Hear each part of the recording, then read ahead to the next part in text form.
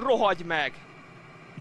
De ez mi? Hát be se tudtam kapcsolni azt a geci rohadék, vagyis nem tudtam lekapcsolni a rohad... Ó!